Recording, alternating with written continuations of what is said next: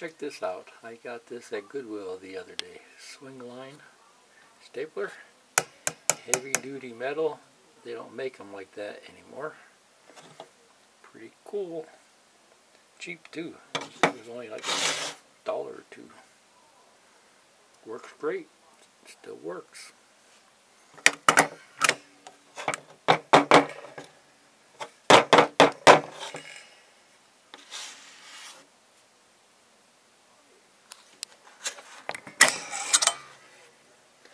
Spring is still in good shape.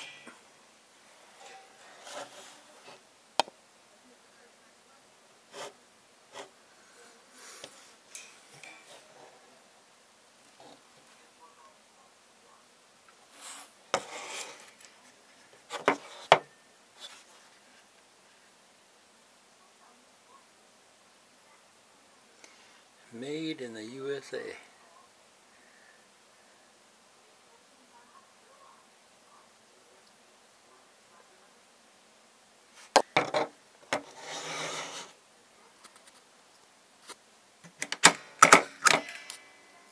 See ya.